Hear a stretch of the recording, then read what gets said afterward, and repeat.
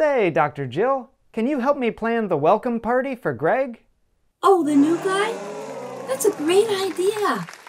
Is he starting work this week?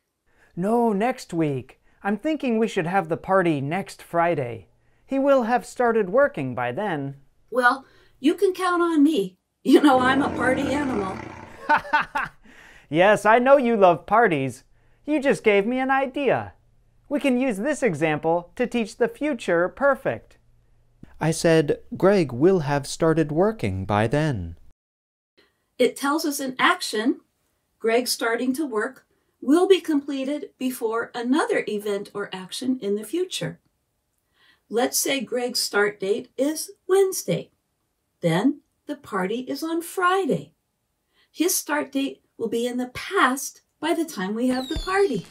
Right, and we make it with will plus have plus the past participle. The main verb is start, and it is a regular verb, so we just add ed to make the past participle. We use this tense to talk about an action that has been completed at a future time.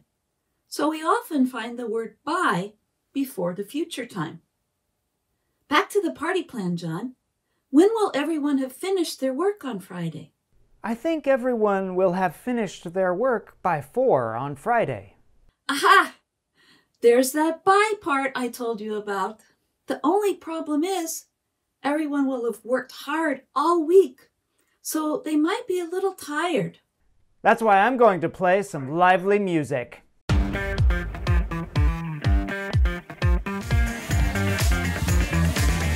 Great! And that's everyday grammar.